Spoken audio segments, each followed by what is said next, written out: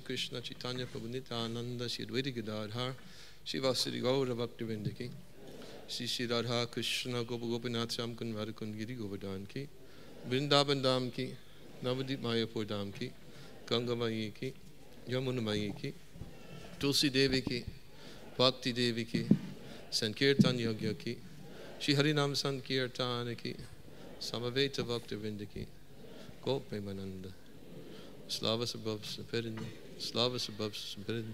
Slava Sabavsa Sampirin. Slava Shiguru Shiguru.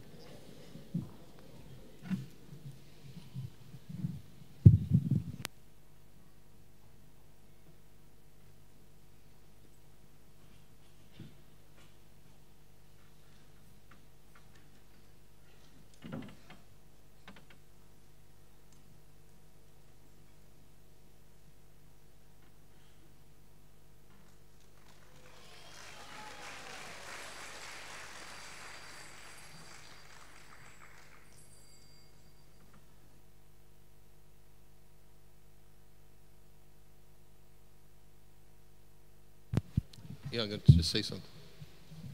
Before we begin speaking, we have a humble request from some devotees, one very senior devotee. Could you please put your mobile phones in flight mode? А, Перед тем, как мы начнем, а, мы хотели бы передать вам просьбу одного очень старшего преданного. А, Пожалуйста, переведите ваши телефоны в режим безопасный для полета. Знаете, такой режим есть. Нужно их переключить все в этот режим, чтобы они не беспокоили никого во время лекции. Could be very dangerous if you have your mobile phone on during flight. Потому что может быть очень опасным, если вы, ваш мобильный телефон будет включен во время полета. You could take it from my god sister, who happens to be a flight attendant. I'm sorry, what can I say? Huh? You can take it from my god sister, who happens to be a flight attendant. И вы можете поверить на слово моей духовной сестре, которая работала стюардессой. Turn off your mobile phones or put them in flight mode. Пожалуйста, выключите ваши мобильные телефоны или переведите их в вот такой вот режим да, для полета, so it does not disturb devotees. чтобы они никого не беспокоили окружающих. That's not just in here, that's also in other venues when you're listening to devotees. И эта просьба относится не только к этой лекции сегодня, но и ко всем другим лекциям, в каких бы залах вы ни сидели, пожалуйста, выключайте мобильные телефоны. So, we're continuing from our discussion yesterday. Were there questions from yesterday? Были вопросы вчера? No, no, you. I'm asking you. Yes. Where are those questions? Oh, they have the questions. Okay. Я передал вопросы вчера, которые э, задавали вот кому-то на сохранение. Пожалуйста, верните вопросы. Uh-huh.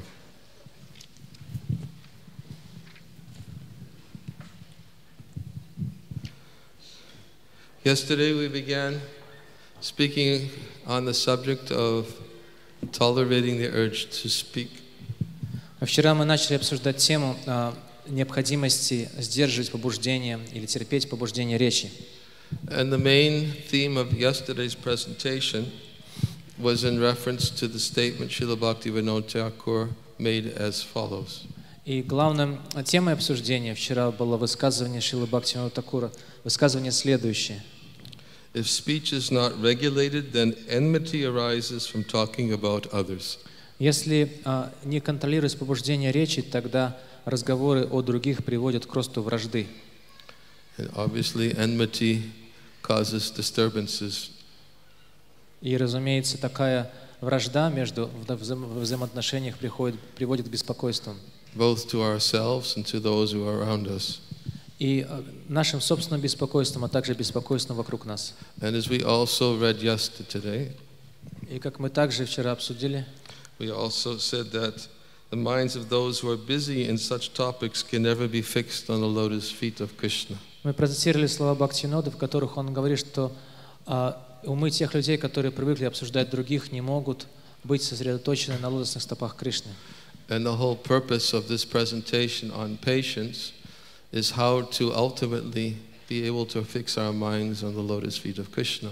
И вся суть или вся цель нашего обсуждения этой темы, темы терпения, заключается в том, чтобы помочь нам сосредоточить наши умы на Кришне. which is the goal of a sadhaka. В этом заключается цель садаки. What does the sadhaka want as a result of his sadhana? Чего хочет обрести садака в результате своей саданы? Does anybody remember from our first day presentation? Кто-то может вспомнить, о чем мы говорили в первый день нашего обсуждения? What result does the sadhaka want? Какого результата ожидает а, садака?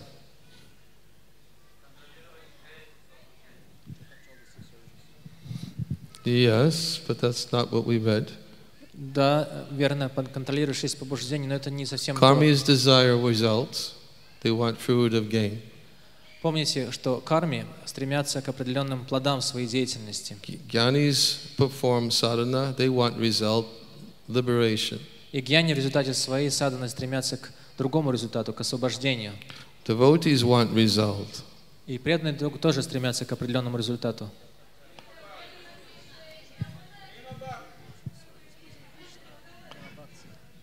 Yes. All very good answers. Очень хорошие ответы все дали. But unfortunately, it's not what Bhaktivinoda Thakur said. Но, к сожалению, все ваши ответы не совсем то, что пишет Бхактивinoда Такур. A devotee wants that Krishna be pleased by his devotion. Преданный хочет, чтобы Кришна стал доволен их преданностью. That is the result a devotee wants. Вот такого результата ожидает преданный. Devotee wants Krishna's to see Krishna's pleasure Преданный, awakened. преданный хочет, чтобы Кришна был доволен его а, преданностью.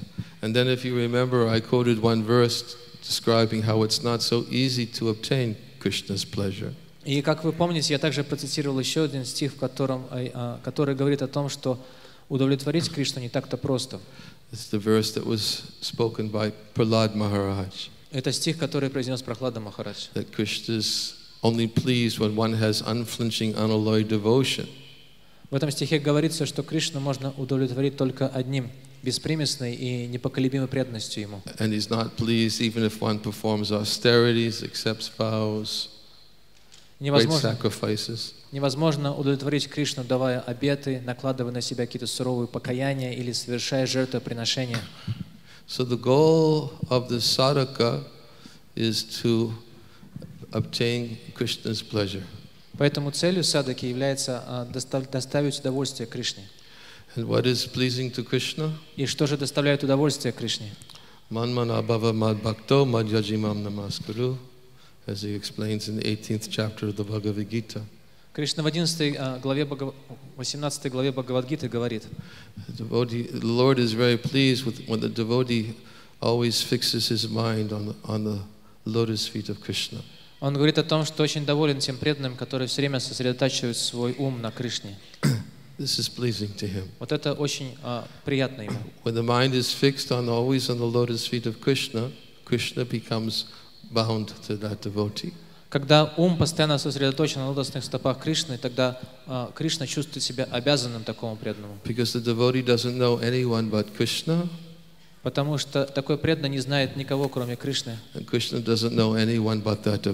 И Кришна не знает никого, кроме этого преданного.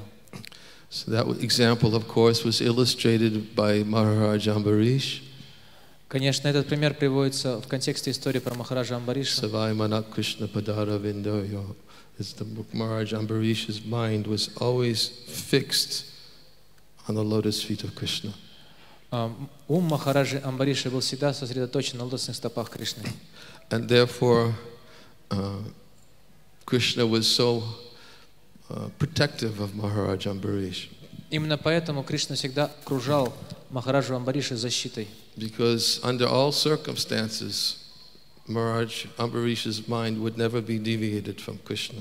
Потому что никакие обстоятельства жизни не могли заставить Махараджу Амбаришу перестать думать о Кришне. Same example was with Prahlad Maharaj. His mind was always fixed on Krishna. И точно такой же пример можно увидеть в Прохладе Махараджа, чей ум также никогда не отвлекался от Кришны. And even in the most disturbing situation, the mind wouldn't be deviated from Krishna, remembrance of Krishna. И даже перед лицом самых тяжелых испытаний и трудностей его ум никогда не отступал от Кришны. In other words, the devotee did not seek any other shelter except Krishna. Другими словами, преданный никогда не стремится обрести какое-либо другое прибежище, кроме Кришны. And when a devotee, even in the very difficult circumstance, still he remembers Krishna and takes shelter of him, Krishna immediately becomes bound and thinks, he's only depending on me. He's not, he's not depending on anything or anyone else.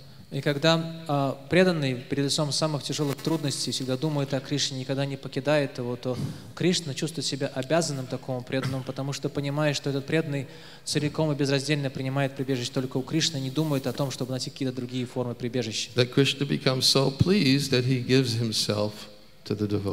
И Кришна становится настолько а, доволен таким преданным, что вручает себя ему, Just as he gave himself to Maharaj Ambarish. как он вручил себя Махараджа Амбариши. As we oftentimes tell that story when Durvasa Muni went to the Supreme Lord for shelter, Мы часто рассказываем эту историю о том, как Дурваса Муни обратился к Верховному Господу, ища у него покровительства и защиты.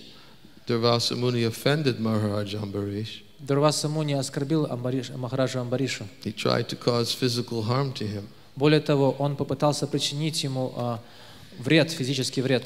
But Maharaj Ambarish did only that which was most natural for him and just simply remembered the Lord. Но Махараджа Амбариш перед лицом этой опасности сделал то, что было наиболее естественно для него. Он просто стал думать о Господе. So the Lord invoked his Sudarshan chakra to chase Durvasa Muni. И тогда Господь призвал Сударшана Чакру, который немедленно погнался за Дурвасу Муни. And after Durvasa Muni went to Lord Brahma and Lord Shiva and failed to get protection from the Sudarshan chakra, Когда а, Дурваса Муни, убегая от Сударшана Чакры, пришел, приходил к Господу Браме и Господу Шиве, ни тот, ни другой не смогли а, даровать ему освобождение от этой проблемы. Vishnu. Он также обратился к Господу Вишну за защитой, и Господь Вишну является тем, кто носит Сударшан Чакру в своей руке. Он попросил Господа Вишну защитить его от Сударшана Чакры. And Lord Vishnu said, I'm, I'm not independent. И Господь Вишну сказал ему, я не являюсь независимым. I'm under the control of my devotee. Я целиком и полностью нахожусь под а, контролем своих преданных. I can't do anything to help you Я не могу ничего сделать, чтобы помочь тебе. uh, because my devotee has me completely under his control. You have to go to him. Потому что я целиком и полностью нахожусь во власти моих преданных, поэтому тебе нужно обратиться к моему преданному. Because the devotee is always in my heart, because he always thinks of me, and I'm always in his heart. Поскольку преданные все время думают обо мне, я нахожусь в и они находятся в моем сердце, я нахожусь в их сердцах. So when Vishwanath Chakravarti Thakur gave his commentary to these verses, Вишваната Чакаварти Такур прокомментировал эти стихи следующим образом. he said that Durvasa Muni was bewildered by this statement of the Lord. Он сказал, что когда Дурваса Муни услышал эти слова Господа, он не мог понять их. And Durvasa Muni approached him and said, What do you mean? You're the Supreme Lord. I'm coming to you for protection. Certainly, when you see a person suffering, you must think about his suffering and feel for him. Он сказал а, Господу, что ты имеешь в виду, Господь, произнеся такие речи, А, ты же Верховный Господь, и, несомненно, когда кто-то обращается к тебе с просьбой о помощи и защите, то ты проникаешься сочувствием к этому человеку, начинаешь думать о нем. And the Lord's response was, "Mm, Actually, I don't have a mind to think about your suffering. И Господь ответил на эти слова Дурмасу Муни следующим образом. Он сказал, на самом деле у меня нет даже ума, чтобы думать о твоих проблемах. And I don't have a heart. И у меня нет сердца, So I can't think about your suffering. поэтому я не могу думать о твоих страданиях. Then Vishwanath Chakravarti Thakur explains that because the Lord says the devotees are always in my heart and I'm in the heart of my devotee. Вишванат Чакраварти Такур объясняет, что поскольку Господь сказал, что а, а, преданный находится в моем сердце, я всегда нахожусь в сердцах моих преданных, He says that th- because the, the devotee always takes the Lord into his heart and renders all kinds of service to the Lord within his heart. А, Такур говорит, что поскольку преданные всегда помещают Господа в своем сердце и там окружают это, а, Господа различными видами служения Ему. So the Lord, naturally being a person, he actually wants to give something in return to the devotee. И поскольку Господь является личностью, то Он естественным образом желает как-то откликнуться на их служение. And so the Lord asked the devotee, please let me give you something in return for your s- selfless service. И поэтому Господь говорит преданному, дорогой преданный, пожалуйста, позволь мне что-нибудь предложить взамен твоему бескорыстному служению. But the devotee always says to the Lord, I don't want anything in return. Но преданный всегда отвечает Господу, на самом деле я ничего от тебя не хочу взамен моего служения. All I want is to serve you. Единственное, чего я хочу, просто продолжать служить тебе. Again, here we see this, the characteristics of the only desire is to serve and to please Krishna. И снова мы видим, как подчеркивается это очень важное качество, что единственная отличительная черта, главная отличительная черта преданного служения всегда служить Кришне и пытаться порадовать Его. No other desire. Никаких других желаний, кроме этого, нет. So the Lord asks again and again, please let me give you something. И Господь продолжает наставить, пожалуйста, позволь мне что-нибудь предложить тебе взамен. Tell me whatever's in your heart. Скажи мне, все то, что у тебя есть на сердце, скажи, я исполню. And the devotee says, No, the only thing in my heart is my remembrance of, remembrance of you, my thoughts of you, my desire to please you. Единственное, и преданный отвечает, но единственное, что есть в моем сердце, это мысли о тебе, Господь, пометование о тебе и желание порадовать тебя. So then the Lord says to the to the devote, uh, the, the Lord says to Durvasa Muni, excuse me. И поэтому Господь говорит Дурваси Муни, He said, I tried to offer something to Maharaj Ambarish, я пытался предложить что-то Махараджи Амбариши, but he doesn't want anything. но он ничего от меня не хотел. If I were to give him wealth, he wouldn't want it. Даже если бы дал богатство, он бы его не пожелал. If I would give him power, he wouldn't want it. Я мог бы д- дать ему власть, но он бы не, стрем... он бы не принял ее. None of these things are valuable to him. Why should I give something that's not valuable to him? И поскольку он не видит в этих вещах никакой ценности, зачем я буду давать ему такие никчемные для него вещи? So I gave him the most valuable treasure that I have in my treasure house. Поэтому я дал ему самую большую драгоценность, которая а, хранится в моей сокровищнице. I gave him my heart. Я подарил ему свое сердце. So I don't have a heart. Поэтому у меня не осталось сердца. And you're coming to me and say, please have a heart. И а, ты обращаешься ко мне, Дурваса, и говоришь, ну имей же сердце. I don't have a heart and I don't have a mind. He took both of them. А у меня нет сердца.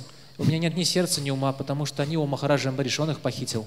So if you want them, you have to go to him. He has them in his possession. Поэтому, если ты хочешь э, достучаться до моего сердца, обращайся к Махараджа Амбариши, потому что они находятся в его власти. That's what the Lord does. He gives his heart to Вот his devotee. Так поступает Господь, Он отдает свое сердце преданному. So we can see how dangerous it is to actually to commit an offense to a devotee who actually has captured the heart of the Lord. И вот настолько опасно, мы можем на этом примере убедиться, настолько опасно оскорблять преданных Господа, которые смогли завоевать сердце Господа. The Lord says he's powerless. I he's powerless to forgive. Потому что Господь оказывается а, бессильным простить нас даже. I'm under the control of my devotee. Потому что Он говорит, что я нахожусь целиком во власти моих преданных. And you're asking me to to take back the Sudarshan chakra, but I can't do it. You have to get that permission from him. И ты теперь просишь меня отозвать а, Сударшана Чакру, но я ничего не могу с ней сделать. Ты должен попросить на это разрешение у Махараджа Амбариши. And how did Maharaj Ambarish capture the Lord in his heart? Так как же а, Махараджа Амбариш смог пленить Господа в своем сердце? He captured the Lord in his heart by his constant remembrance of him. Он а, пленил Господа в своем сердце постоянным пометованием о нем. So that constant remembrance of the Lord under all circumstances is very is so pleasing to the Lord that the Lord wants to give what he has in his treasure house, which is most valuable.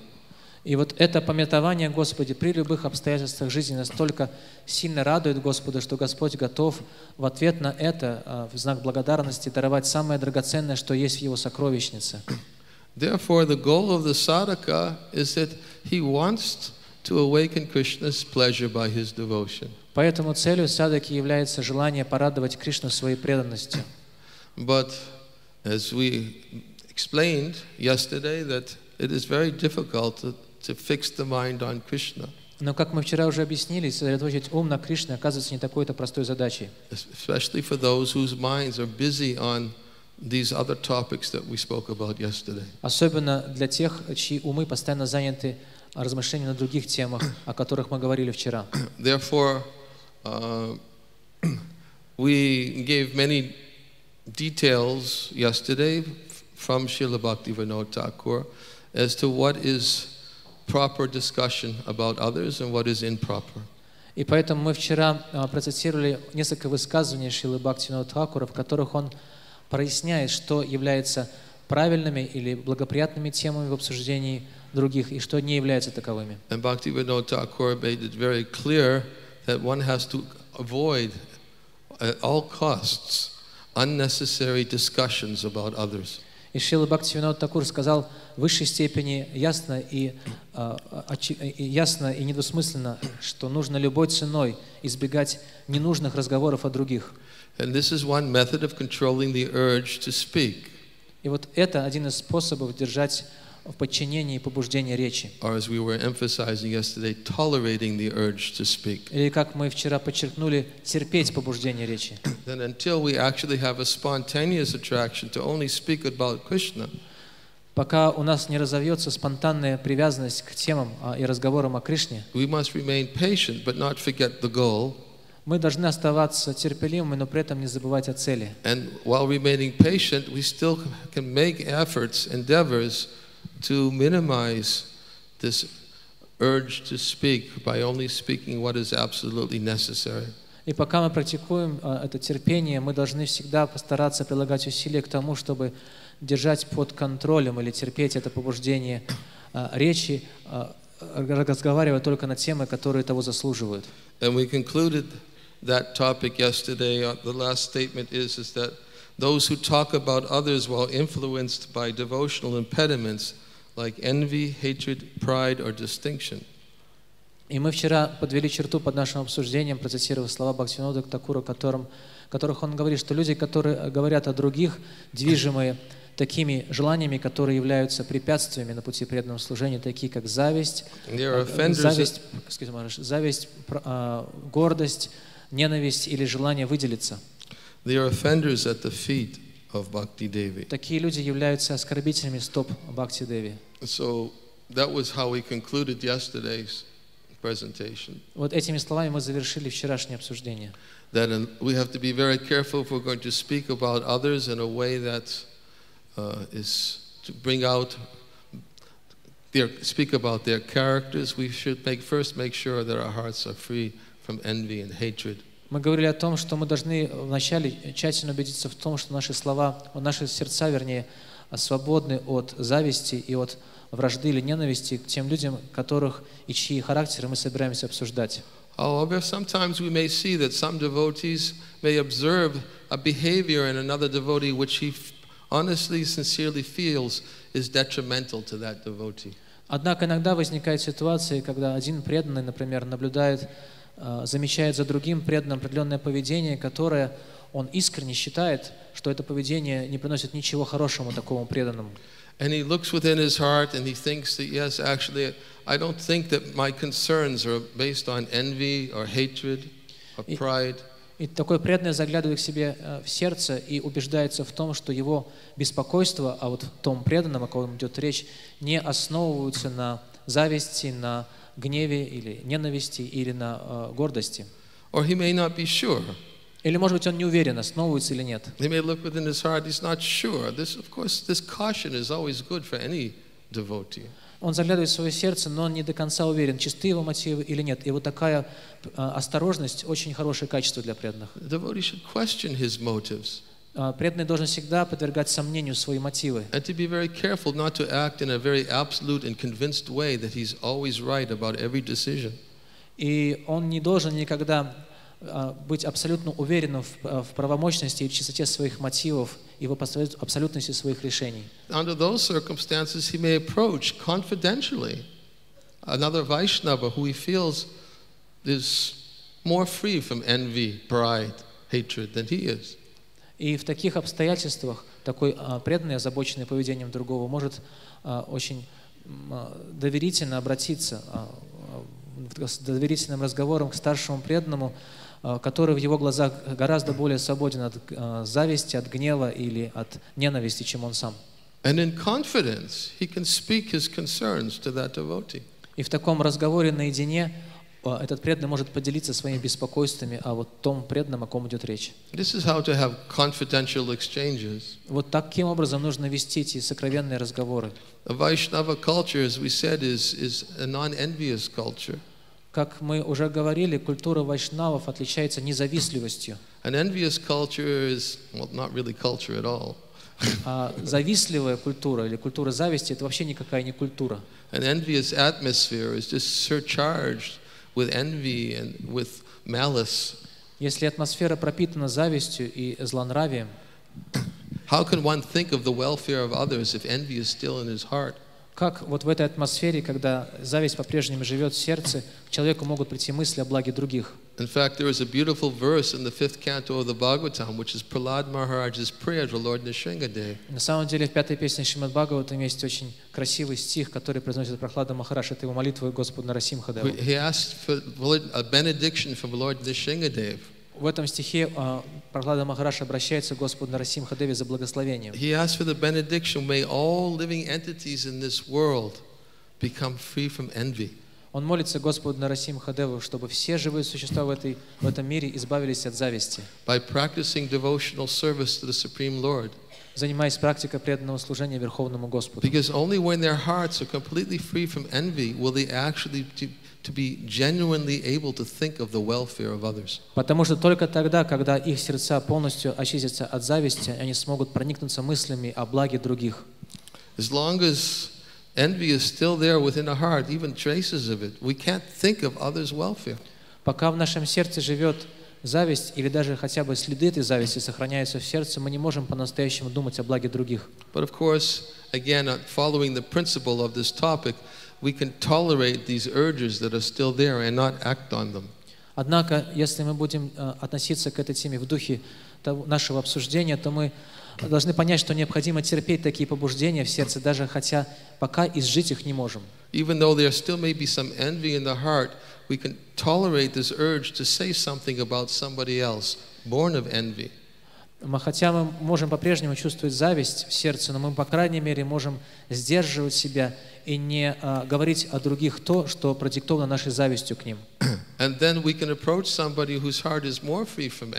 И тогда мы можем обратиться к тем, чьи сердца более свободны от зависти, чем наши, and submit our concerns to that Vaishnava and say, please, is my concern based on envy or is it there's some genuine substance to my concern? и поделиться нашим беспокойством с этим вайшнавом и спросить у него, скажите, пожалуйста, вот может быть мои мотивы действительно чистые, а может быть они основаны на зависти, я не могу разобраться в них. And then we leave it for the other Vaishnava who's more capable of helping that person who requires some assistance. И мы оставим этот вопрос заботам того вайшнава, который может э, лучше помочь, помочь тому, о ком мы говорим. In this way, we speak in confidence, Таким образом, мы э, строим свое общение с таким преданным на основе доверия, и вот такой, э, такой принцип поведения или общения не порождает вражды э, из-за наших разговоров о других. This is very, very important principle to learn. Это очень важный принцип, который мы должны очень глубоко усвоить. And as we explained yesterday, this kind of, when devotees act and understand on these principles, which are set down, guidelines set down by our acharyas, И как мы вчера говорили, если преданные понимают, что это очень важные принципы, которые утвердили для нас э, ачарьи прошлого, it creates an atmosphere which is very conducive если не действуют на основании этих принципов, то благодаря этому возникает атмосфера, которая очень благоприятна для взаимоотношений между вайшнавами. So we will continue reading. Мы продолжим чтение. Uh, we still didn't finish the topic about the urge to speak, but we'll finish that and go into the urge controlling the, uh, the mind's demands.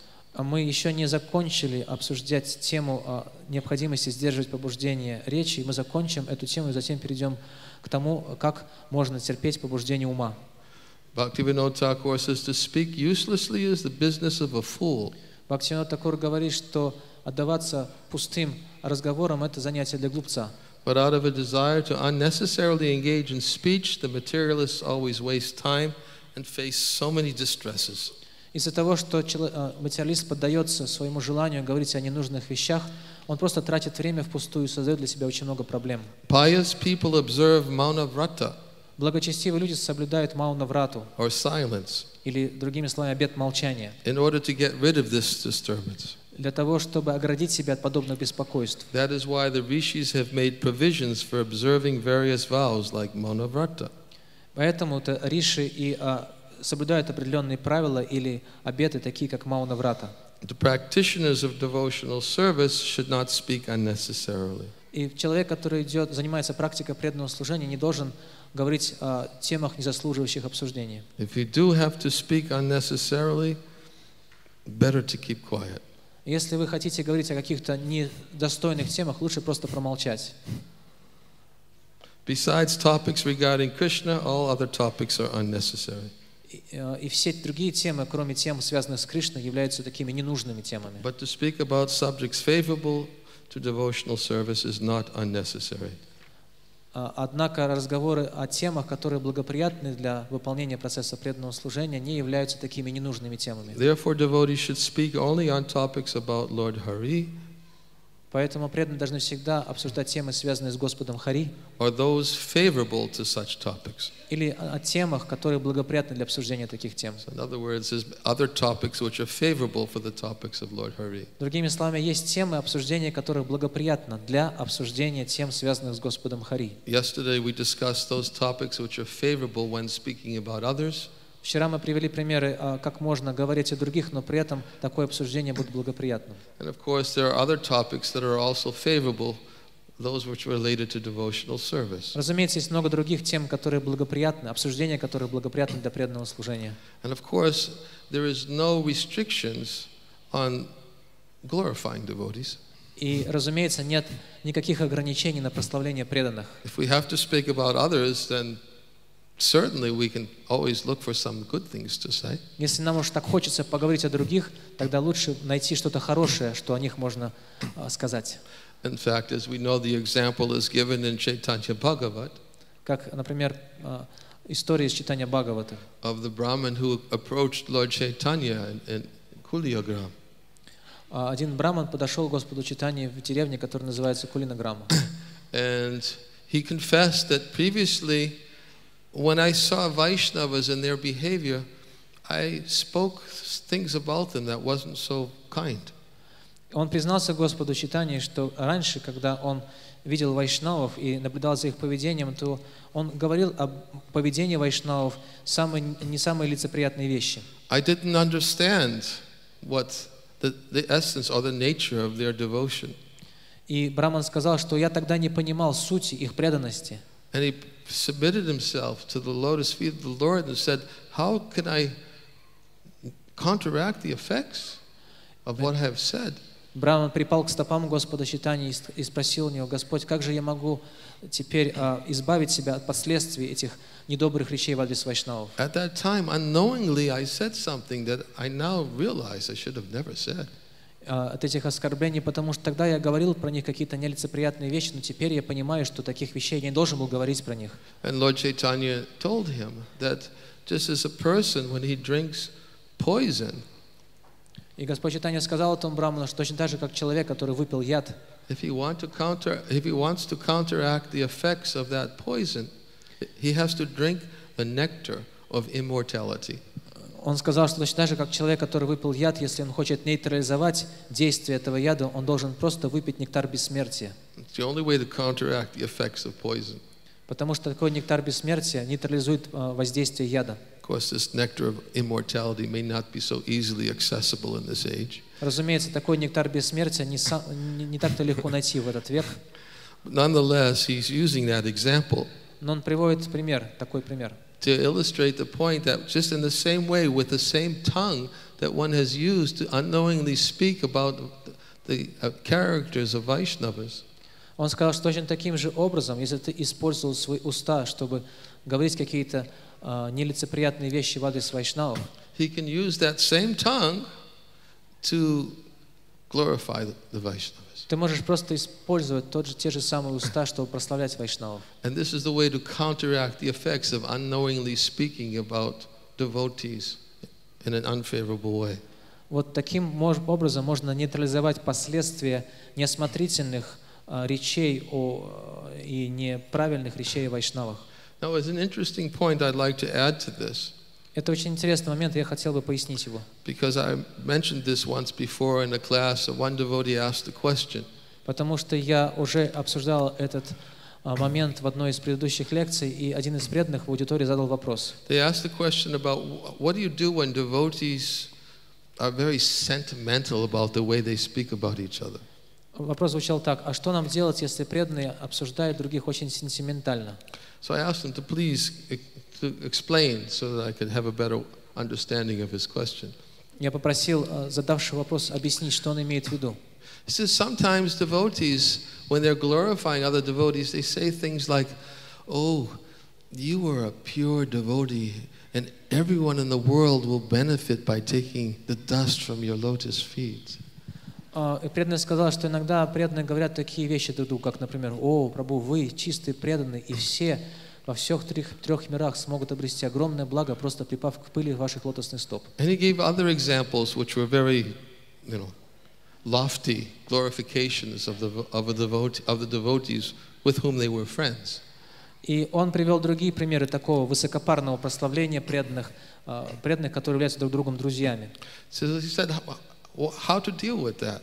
И преданный спросил, а как нам поступать с такими прославлениями? And I remembered the, quotation from the fourth canto of the Bhagavatam, which is very relevant. Я вспомнил цитату из четвертой песни Бхагаватам, которая оказалась очень к месту. In the story of Prithu Maharaj, Эта цитата звучит в истории про Притху when Махараджа. the professional reciters were glorifying Prithu Maharaj, and he was standing there hearing all these things. Когда профессиональные чтецы стали прославлять Притху Махараджа, а он стоял и слушал их речи, Prithu Maharaj, after hearing them, instructed them that why are you saying all these things about me? What- Because they haven't even manifested. You're describing qualities that haven't even manifested yet. Притху Махарадж сказал, выслушав их словословие в свой адрес, сказал им, а почему вы говорите про меня такие вещи, прославляя те качества во мне, которые еще не проявились? And to describe such qualities which have not manifested yet, you may think as glorification, but actually they're insults. Говоря о ком-то и а, прославляя качества в ком-то, которые еще в нем не проявились, вы можете думать, что это прославление, но на самом деле это оскорбление. So the point is, is that certainly there are many things that we can say to recognize and appreciate other devotees without having to get into such lofty glorification. Другими словами, мы можем очень много найти реальных, практических и зримых качеств других вайшнавов, которые могли бы прославить и при этом не ударяться в такие высокопарные прославления, не имеющие никакой связи с реальностью. I'll give you an example. Я могу привести им пример. Yesterday I went into the kitchen. I sometimes go to the kitchen to encourage the devotees to, who are working hard there. Вчера я а, пошел навестить кухню, потому что я иногда захожу на кухню, чтобы как-то поощрить и, помо- и вдохновить преданных, которые там очень тяжело служат. I was speaking to different devotees about the service and if they were having any obstacles in their service. Я общался с преданными, задал им вопросы об их служении, о том, есть ли у них какие-то проблемы или препятствия в этом служении. And I went to the devotee who was washing all the buckets that were used to s- serve out the prasadam. Я подошел к одному преданному, который занимался мытьем ведер, а, использующихся для раздачи. Там стояли сотни и сотни ведер. И было ясно из этой картины, что этот преданный провел там очень долгое время, занимаясь мытьем этих ведер. So I said to this devotee, I said, Are you having any difficulties in your service? Я спросил у этого преданного, есть ли какие-то трудности в вашем служении? And the devotee said, Yes, I am having one difficulty. They're, they're only letting me do it today. И этот преданный сказал, да, одна трудность у меня есть, мне разрешили мыть их только сегодня. That was his difficulty. В этом была его проблема. He didn't. He, he felt like he didn't have enough service. He wanted to do it every day, but they were only letting him do it one day. Он думал, что ему не хватает служения, что ему разрешили всего лишь э, мыть, мыть эти ведра один день, а он хотел бы заниматься этим каждый день. And he was apologizing, saying, "Unfortunately, that's what they did, they're doing. They're, they're not letting me do this to, again." И преданный сказал извиняющимся тоном, вот, к сожалению, так со мной обошлись. Представляете, они дали мне возможность мыть эти ведра только один раз, один день сегодня. Я сказал многим моим духовным братьям об этом преданном. Such a well, this is not such a, a, a outlandish glorification. И это что? Вот это то, что я сказал про него, это какая-то такая слишком преувеличенная слава или прославление в его адрес. But we should see, we should look to see how the devotees are making efforts, making endeavors, and, and recognize and appreciate and tell others. Нет, это очень реально, но мы должны видеть такие качества других преданных, и увидев них, мы должны рассказывать про эти качества другим, то, что мы реально в них наблюдаем. Such discussions about others is not detrimental to devotional service. И вот такие обсуждения других не являются а, помехой в преданном служении. Then somebody else once asked a question, but what if you're afraid the devotee will become proud? Кто-то другой задал вопрос, а если, что нам делать, если мы боимся, что преданный начнет гордиться из этих прославлений в его адрес? In other words, I don't want to say something about appreciating a devotee if it's just going to make him proud. Другими словами, я не хочу ничего хорошего про этого преданного говорить, потому что вдруг он возгордится. The point is, is that still we should appreciate their efforts. Нет, но суть в том, что мы все, тем не менее должны ценить их усилия. We should look for the good qualities. Мы должны искать в них хорошие качества. A devotee by nature is supposed to be a dosha darshi. Преданный по своей природе должен быть Адоша Дарши. We just gave the name to one devotee today on initiation. It was the name of Lord Chaitanya, Adosha Darshi. Сегодня на инициации мы дали это имя одному из преданных. Это имя Господа Читания, Адоша Дарши. It means one who's blind to the faults of others. Адоша Дарши буквально значит слепой к недостаткам других. It's one. It's a name of Lord Chaitanya, but it's also a reference. It's a reference which is used for many Vaishnavas. Raghunath Das Goswami, Haridas Pandit. They are all described as a dosha darshi.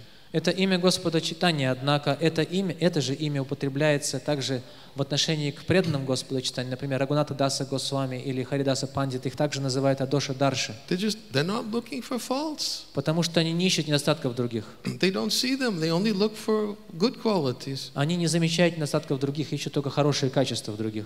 This also promotes И вот это также помогает взращивать эту атмосферу доверия в взаимоотношениях между преданными. enables us to tolerate the urge to speak. Это помогает также нам терпеть побуждение речи. So these are also considered favorable topics to devotional service, Вот это тоже темы благоприятные для преданного служения. or any topic which is helpful for the execution of devotional service. Или темы обсуждения, которые помогают нам заниматься практикой преданного служения. All other topics will be counted in the category of the urge to speak. А все остальные темы, которые нам хочется обсуждать, относятся вот э, к тем, э, ну, а, обсуждения которых нужно в себе сдерживать. One who is able to control the urge to speak is a sober person. И человек, который может а, контролировать свое побуждение речи, считается здра- трезвомыслящим человеком. It is the duty of a sober person to tolerate the urge of the mind. И такие трезвомыслящие люди также обязаны сдерживать побуждение а, ума.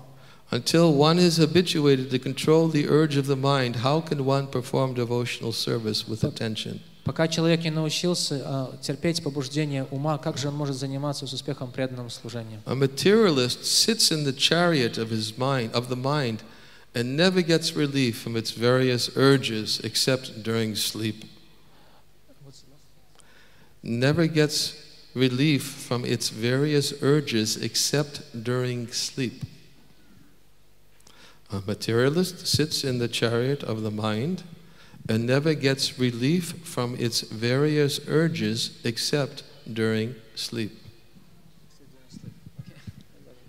A materialist который постоянно выседает на колеснице своего ума, не может сдерживать побуждение своего ума, кроме одного момента, когда он спит. And even during sleep, И даже во время сна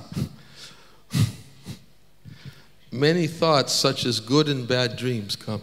к нему постоянно приходят различные дурные и хорошие сны. So sometimes we think sleep is relief. Иногда мы думаем, что сон – это облегчение. Have you, any of you lie down at night looking for a night of relief? Иногда мы ложимся а, в кровать, думая, что нас ждет а, ночь, спокойная ночь, и мы отдохнем ночью. And find yourself waking up in the middle of the night with a bad dream? И мы потом вдруг просыпаемся а, посреди ночи от какого-то кошмарного сна, который приснился нам. That's what Bhaktivinoda Thakur is saying. Вот об этом говорит здесь Бхактивinoda Такур. Sometimes people will only get relief from their, those who ride, ride on the chariot of their minds in, during sleep, but then even during sleep, sometimes there's not relief. Люди, которые выседают на колеснице своего ума, думают, что могут во сне найти это а, успокоение, но даже во сне их беспокоят различные дурные сны. In order to regulate the urges of the mind, rishis have propounded Ashtanga Yoga and Raja Yoga. Для того, чтобы научиться сдерживать побуждение ума, риши занимались аштанга-йогой, а также раджа-йогой. But the Lord's prescription is that one should regulate the mind from the inferior taste by giving it a higher taste. Однако Господь рекомендует нам избавиться, избавить свой ум от низших склонностей благодаря а, развитию высшего вкуса. Those who are on the path of devotional service can easily regulate the mind. Те люди, которые идут по пути преданного служения, могут легко регулировать деятельность своего ума, The mind cannot remain without urges. потому что ум не может жить без побуждений. This is an important point. Очень важный момент. I won't have time to elaborate on it fully, Мы можем сейчас, у нас сейчас нет времени, чтобы подробно описать этот but вопрос. Srila Bhaktivinoda Thakur is actually explaining that we're supposed to tolerate the urges of the mind, Однако Шрил Бхактивинод Такур а, объясняет здесь, что мы должны регулировать побуждение нашего ума or stop the urges of the mind. или просто пере- а, остановить их. But he's explaining here very clearly that, that the mind cannot remain without urges. Однако Бхактивинод Такур объясняет здесь, что ум не может а, оставаться без таких побуждений. So, therefore, one actually has to know what are proper urges of the mind and what are improper urges of the mind. Поэтому мы должны разделять все побуждения ума на правильные и неправильные. And this is what he's going to begin discussing now in, in, in this discussion of tolerating the urges of the mind. И вот сейчас он начинает а, обсуждать эту тему о том, как терпеть побуждение ума.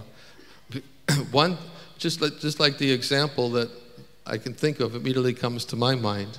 И я могу вам привести один пример, который я немедленно вспоминаю в этой связи. Prabhupada uses an analogy in the, in the Bhagavatam. Шрила Прабхупада приводит эту аналогию в Бхагаватам. He used the example of trying to control the raging mind is like trying to control the swift flow of a river with our arms. Шрила Прабхупада говорит, что попытаться Попытки сдерживать побуждение а, своего ума это то же самое, что попытаться войти в реку и голыми руками остановить ее поток. Yesterday we spoke about one river. Вчера мы говорили об одной реке. We spoke about the river, or maybe it was the day before yesterday. It was, we spoke about the river of Krishna Kata coming from Vaishnavas. Мы говорили о реке а, Кришны Катхи, которая струится от Вайшнава. That if one gets caught in that river, he'll forget about all the necessities of life, such as hunger and thirst, and become free from all kinds of illusion, lamentation, and fear. Мы говорили о том, что человек, который попадает в воды, в бурные воды такой реки, сразу немедленно избавляется от таких насущных потребностей жизни, как еда и жажда, голод и жажда, а также избавляется от таких а, дурных качеств, как а, иллюзия, беспокойство и страх. So the river of Krishna Kata also has, a, has the potency to catch us and to sweep us away. И вот эта река Кришны Катхи обладает достаточной силой, чтобы сбить нас с ног и нести в своих водах. But Prabhupada is using this example in a different way. Однако Шрила Прабхупада в этом а, отрывке использует пример с рекой по-другому.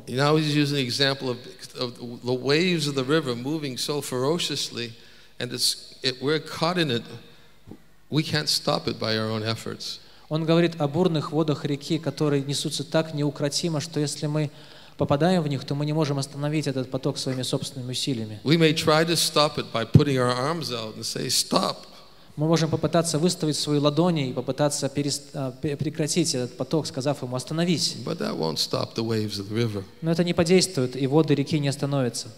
So he says, But when the waves of the river enter into the ocean, Но дальше Шрила Прабхупада говорит, что когда воды реки впадают в океан, because the ocean is more powerful, поскольку океан гораздо более могущественнее, чем река, then the waves of the ocean can push back the influence of the waves of the river. то вот волны океана могут повернуть вспять даже течение этой бурной реки. So, what we may try to do by ourselves, by our own efforts, we'll find is impossible. И если мы попытаемся, другими словами, сделать что-то своими собственными усилиями, то мы обнаружим, что это невозможно сделать. But if we take shelter of the ocean, Однако, если мы примем прибежище в океане, if we take shelter of devotional service, если мы примем прибежище в преданном служении, if we take shelter of the continuous flow of, that is coming from Vaishnavas, если мы, другими словами, примем этот поток нектара, который постоянно струится из уст вайшнавов, then by that taking shelter of the ocean, that can push back the influence of the waves in the river. если мы примем прибежище в таком океане, вот этот океан может своими водами остановить и повернуть вспять течение этой бурной реки. And Prabhupada goes on to explain in that purport, he's, he also gives the example that the waves of the ocean is, like filling the mind with so many plans for Krishna's service. И Шрила Прабхупада продолжает эту аналогию э, в своем комментарии, говоря, что эти волны океана э, заполняют, затапливают наш ум и наполняют его планами о, на служение Кришне. Therefore, Krishna, when we take shelter of Krishna and fill the mind with plans for service to Krishna, that can stop the turbulent waves of the river. Другими словами, когда мы таким образом наполняем свой ум а, планами а, о служении Кришне, вот эти волны, эти пометования может остановить этот поток, бурный поток реки. Or as Srila Prabhupada would oftentimes quote the verse, Krishna Surya Sam Maya Haya Andakara, Yaham Krishna Tahamaya Mayada Arikara. That Krishna is like the sunshine and Maya is like darkness. Как иногда Шил- часто Шила Прабхупада цитирует этот стих, в котором говорится, что Кришна подобен солнцу, а Майя подобна тьме. И куда бы ни проникал солнечный свет, там не остается места тьме. И точно так же, как только человек начинает думать о сознании Кришны, immediately the darkness of illusion or the influence of the external energy is dissipated.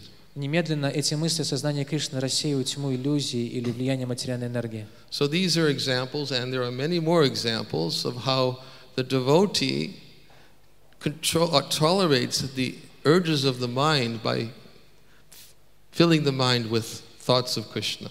И вот это, это примеры, и можно привести много других подобных примеров тому, как преданный может научиться контролировать и сдерживать побуждение ума, наполняя свой ум мыслями о Кришне. And Bhaktivinoda Thakur is going to go on and explain how the devotee is in the superior cos- position. И Бхактивинод Такур продолжит свое обсуждение, показывая, что преданный занимает гораздо более превосходящее положение.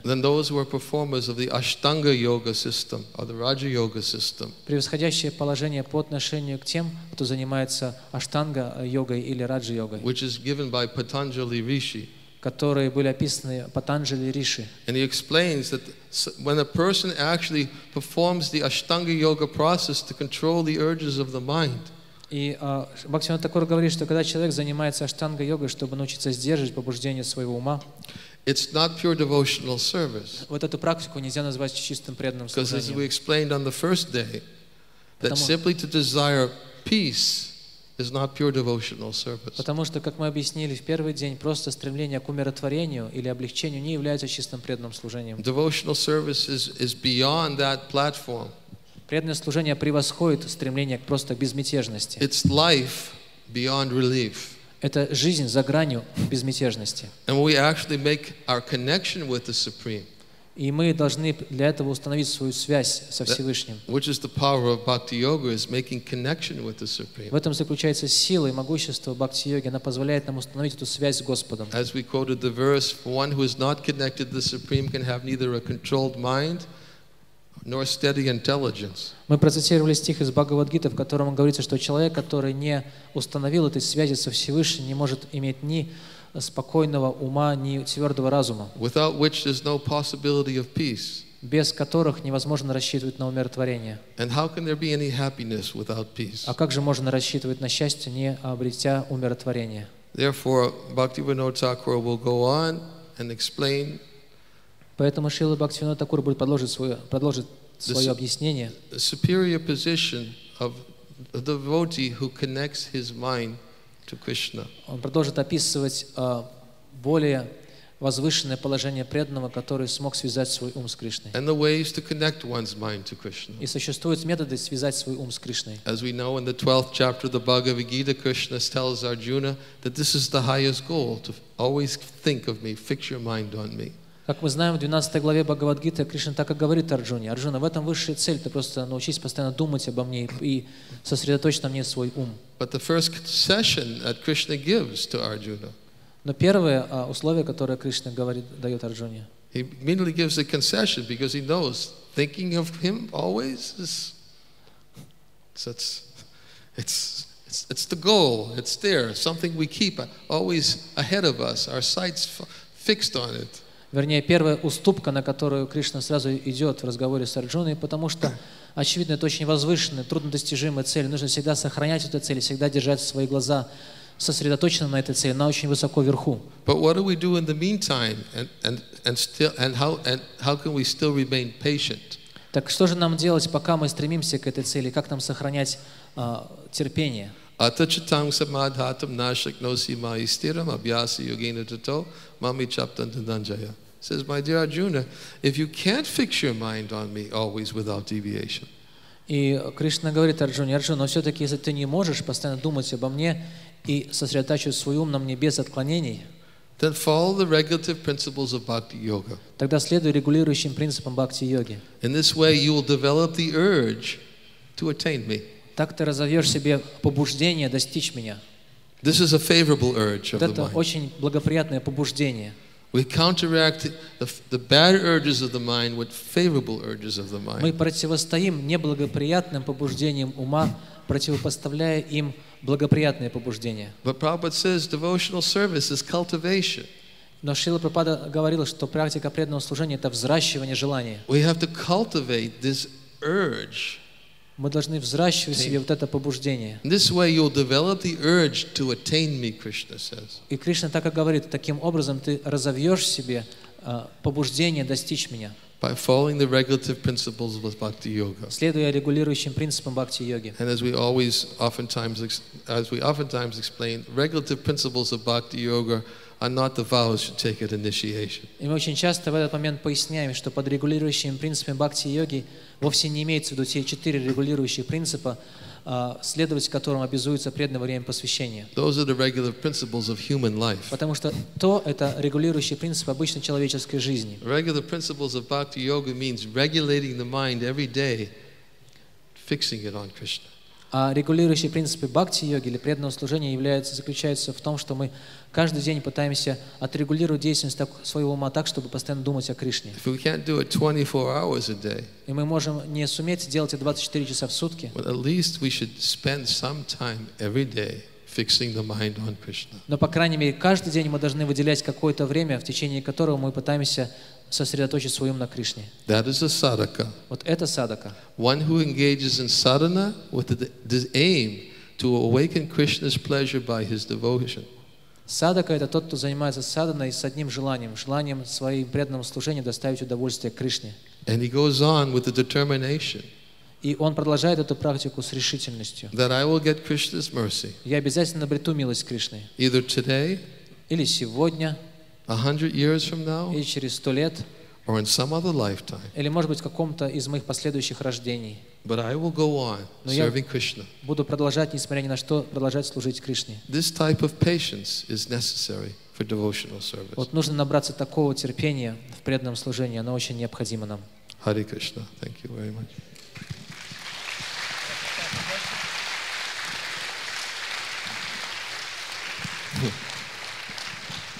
Tomorrow. Завтра мы ответим на вопросы. Take, take them tomorrow. I will take them.